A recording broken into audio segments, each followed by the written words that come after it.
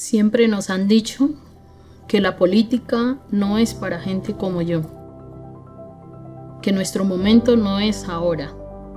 Y yo me pregunto, ¿cuándo será nuestro momento? Soy Francia Elena Márquez Mina, madre orgullosa, cabeza de familia, hija de agromineros, nacida en el municipio de Suárez, al norte del departamento del Cauca. Soy activista social, trabajé la mina tradicional, sembré la tierra y fui empleada del servicio doméstico. Con dificultades, logré estudiar y prepararme como abogada para defender a mi comunidad. Como la mayoría de nosotras y nosotros, he trabajado duro por mis hijos, por mi familia, por mi comunidad, por este país. He vivido en carne propia la violencia de este país He luchado en las calles y los campos por el medio ambiente, la casa grande. Como ustedes, he visto pasar a los políticos de siempre, con las mismas promesas de siempre, una y otra vez hablando de cambios.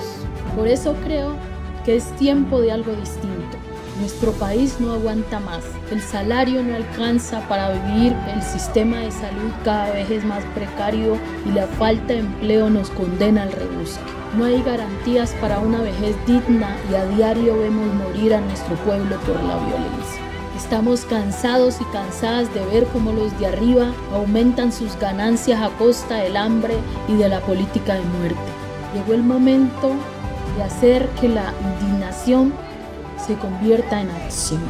Nos han dicho que cambiar es difícil, que no se puede, pero ¿saben qué? Sí se puede. Vamos por el cambio, mi Colombia. Vamos que sí se puede. Sí podemos construir una Colombia con mayores oportunidades, en paz y en equidad, con trabajo digno, cuidando la casa grande, colocando en el centro la vida. Pero si queremos algo distinto, mi gente, hay que votar distinto.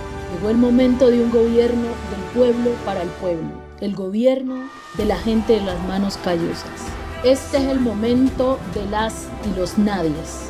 Este es nuestro momento para ir de la resistencia al poder hasta que la dignidad se haga costumbre. Mi querida Colombia, hoy tenemos la oportunidad de recuperar la alegría para nuestro país. La oportunidad de vivir sabroso mi gente, Francia Márquez, vicepresidenta, Gustavo Petro, presidente.